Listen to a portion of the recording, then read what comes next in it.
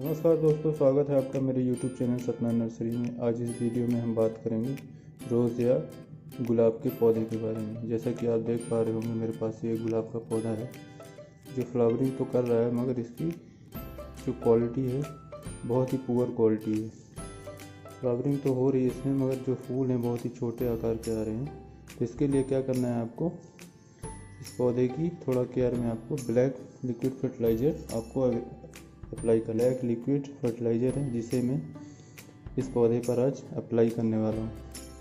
तो दोस्तों उससे पहले जान लेते हैं कि हमें इसकी केयर कैसे करनी है। जैसा कि आप देख पा रहे होंगे गुलाब के पौधे की मिट्टी। मिट्टी आपको इसमें नॉर्मल मिट्टी लेना है। काली मिट्टी भी यूज़ कर सकते हैं। हम्म, थोड़ा सा रेत मिक्स करके गोबर की खाद मिक्स करके आप किसी प्रकार की भी मिट्टी को इस पर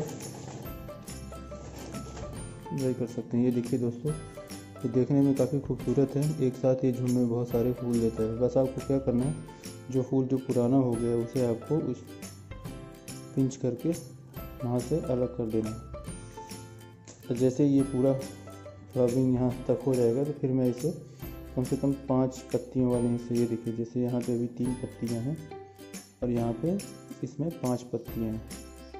तो ये पाँच पत्ती वाले हिस्से से मैं इसे कट कर दूँगा डाल को। कट कर दूँगा, जिससे क्या होगा कि नई ब्रांचेस आएँगी और खूब सारी नई ब्रांचेस आती रहेंगी। ये आप देख पा रहे होंगे वीडियो में। ये देखिए, कई सारी नई नई ब्रांचेस आ रही हैं। ये है, यहाँ से भी आ रही हैं। है ना? ये जो भी, ये जहाँ जहाँ ये इसकी आई जैसे सिस्टम जो ये है, दिख रहा है, इन सब जगहों से ये नई नई ब्रांचेस देगा। तो दोस्तों, इसकी केयर में आपको क्या करना है? कम से कम महीने या बीस दिन में एक बार इसकी गुड़ाई कर देना गुड़ाई करने से क्या फ़ायदा होता है? जो खरपतवार होती है कट जाती है।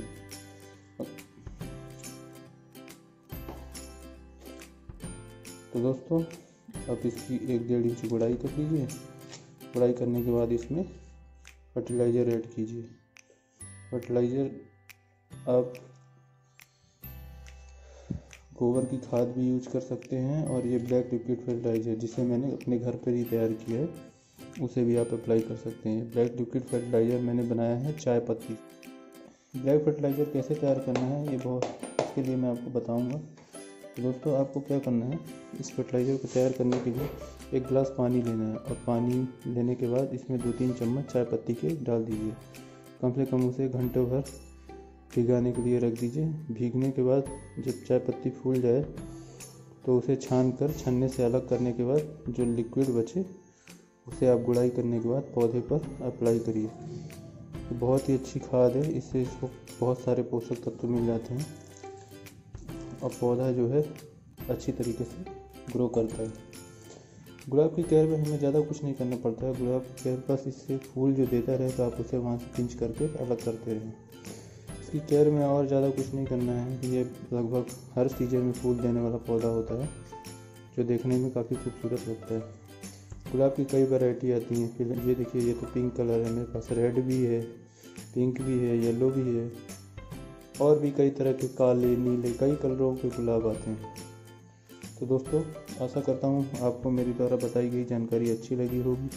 और वीडियो पसंद आया हो तो प्लीज़ वीडियो को लाइक कीजिए शेयर कीजिए और मेरे चैनल को सब्सक्राइब कीजिए।